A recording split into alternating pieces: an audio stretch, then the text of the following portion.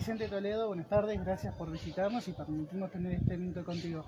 En esta actividad apícola, primera presencial después de esta pandemia. Bueno, eh, es un momento importante porque esta jornada, además de lo técnico que va a ser este, hablar de las abejas, la teoría, la práctica, tener terreno, también es un momento de reencuentro, donde muchos apicultores durante esta pandemia, los WhatsApp han permitido que se, conozcan, que se converse, que, hagan amistades, pero no se conocen. Entonces, uno de los, de los aspectos importantes de esta actividad es que va a haber muchísima gente que se van a ver por primera vez después de la pandemia. Además, la pandemia nos dio herramientas como, como el Zoom para comunicarse, para poder hablar eh, apicultores de un lugar a otro. Nos permitió a través de una, actividad que organizamos este, el grupo de criadores de reinas de Uruguay, que se llama Reina Sui, que es un trabajo que se hizo a través de Integración Uruguay Apícola. Y es una, una, una organización que se organizó por los mismos productores. Aquí no se usó fondos de nadie, no se pidió apoyos de nadie, demostrando que el sector apícola uruguayo tiene la capacidad de organizarse, de ordenarse y de poder utilizar los medios que hoy nos dan de la tecnología que nos permitió hacer Zoom y tener alcances de productores de todo el Uruguay.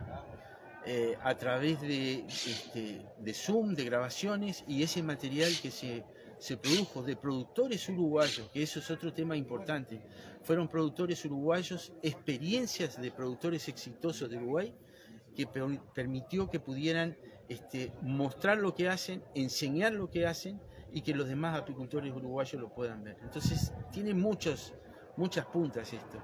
Una es productores con la capacidad y la grandeza de mostrar su experiencia y de enseñarlo, las herramientas de utilizar el Zoom, pero y además llegar a este punto donde cuando la pandemia afloja, tener la capacidad de organizar una jornada declarada de interés municipal, departamental, donde van a estar llegando mañana apicultores de todo el país, desde Rivera, desde Artigas, de Paysandú, de Maldonado, prácticamente todo el Uruguay apícola va a estar viniendo. Tal vez no todo, porque todos no pueden venir, todos no pueden estar porque a veces hay actividades, pero esta puerta, esta jornada, la idea es que quede abierto y que en el calendario de América Latina, que hay un calendario de jornadas apícolas, que está Argentina, que está Chile, que hay una cantidad de países, Uruguay no está.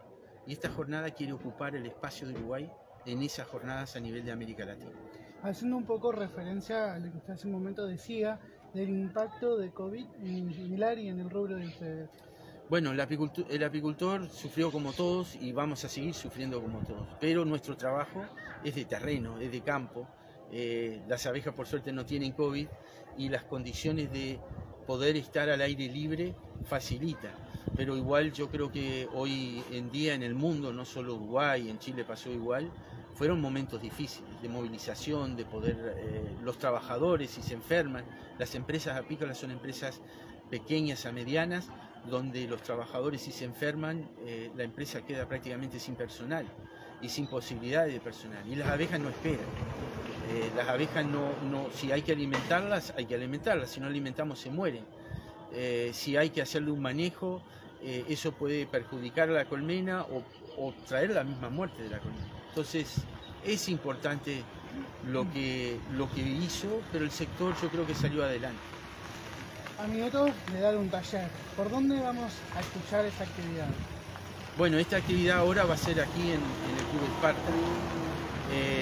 Probablemente se van a grabar, no sé si la de hoy, las de mañana sí se van a grabar, y va a haber grabación y se va a subir a la página de Facebook de Integración Uruguay Apícola, donde los productores van a tener el alcance de poder verlo una y otra vez. Y, y un poco hoy los apicultores eh, viajan, hay apicultores de Colonia que están yendo a poner colmenas en las forestaciones de, de Rivera.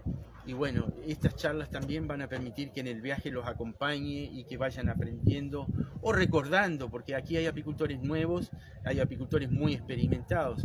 No buscamos decir aquí venimos con la gran verdad, sino que a veces es recordatorio o a veces en los productores más pequeños enseñanza. Muchísimas gracias por el minuto mayor de los éxitos entonces y estamos ante la disposición. Bueno, muchas gracias y bueno, ojalá esto el año que viene se repita y como decía el logro más importante es que los productores apícolas se vayan felices, porque es una jornada hecha de apicultores para apicultores. Muchas gracias.